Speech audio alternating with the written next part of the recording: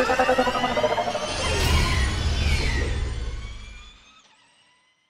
I'm Simona and uh, I'm part of the team. I'm uh, the reserve and test driver for the team. So uh, I'm involved in all the development of, of the race car and uh, also the simulator work that we do uh, before each race. I started racing quite early. I would say when I was six years old, I started go-karting.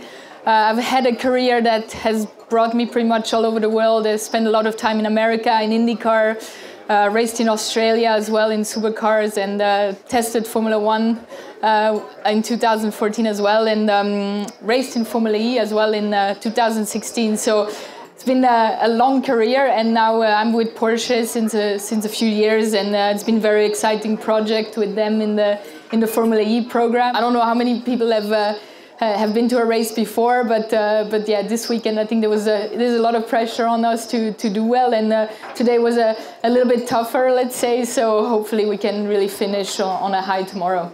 That's great. First of all, that's impressive and most certainly a much more exciting career than mine.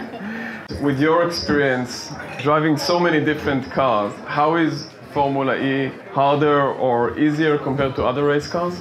Well, it's uh, it's just really different. You know, I think uh, when I look at myself 15 years ago, I never thought I'd be racing, you know, an electric car. It was really not even in our minds. And uh, you know, when I jo- when I joined Formula E, it was uh, season one and season two, and uh, we were all kind of like, okay, what is this? We have to learn, and and how you race is quite different as well because uh, you have this all ener- energy management that you have to do, which you don't have in other cars. So um, for us drivers, it's quite challenging because sometimes you you want to overtake, but you need to really keep the energy. So there's a bit of strategy in that going on, which makes it quite tough. And uh, the sound is different as well. You know, uh, I remember my first race. I was on the grid and I could hear this, and I was like, "What is this?" And it was my heartbeat because you know normally in a normal race car you wouldn't hear it. So, uh, so it's that's a few different things, but for sure the energy management part is the biggest difference to, to any type of racing out there.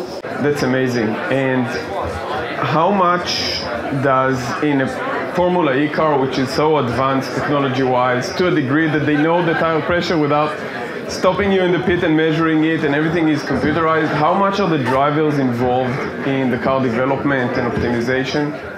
Yeah, well, quite a lot. You know, at the end of the day, you know, we, we still need to drive the cars. So there's a lot of optimization in how the software is built uh, for each racetrack. So, but you know, we we spend a lot of time in the simulator, kind of giving our feedback as well, and uh, how we want to drive. You know, sometimes the data wants something different, but it's hard for us to to really do exactly that. So so it's always a, a mix and match between the, the engineers and the driver. And uh, um, but you know that's what teamwork really makes makes uh, the best out of it. So in that sense, you know it's a really big team effort, and the more information you have, the better you can get, and the quicker you can get as well.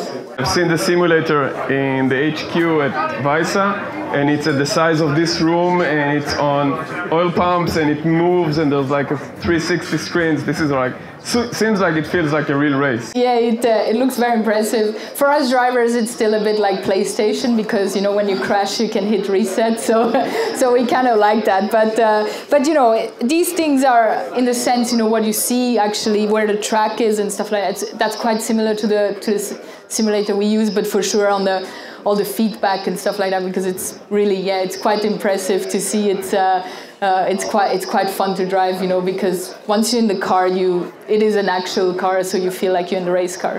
One question that very I'm very curious about is that right now all the drivers that we've seen on the track are male drivers. You're a female driver.